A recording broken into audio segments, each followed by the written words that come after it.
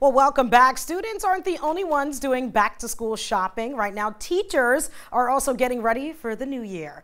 As News 12's Greg Thompson tells us today in Westchester Square, some of them got some much needed help.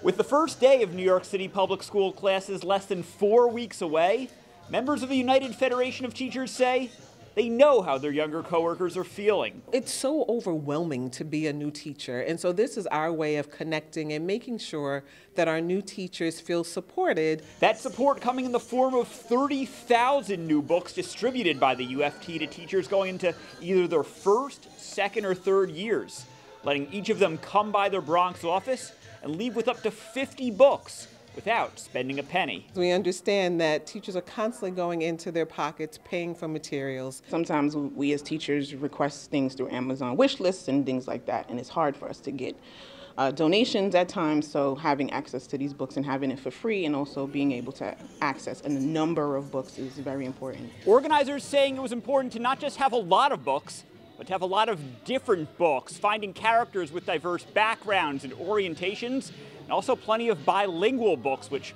we're told were some of the first ones to go. I had never seen such a wide array of books, especially with the different cultures, the different disabilities that were actually in the books, and then the opportunities that I could use for learning. I hadn't seen that even in libraries. The teachers say they're already making plans for their new toys. Walking around, I thought about you know, uh, the units that I have to go through, the curriculum that I have to, and the things I have to to uh, teach. I want to do some literacy, um, some phonological awareness stuff, so paying attention to letters and to numbers and just basically using that in my lessons to make functional communication. Teachers also saying that almost as helpful as getting the books was just a chance to spend some time with other people who are in similar boats before the start of the year.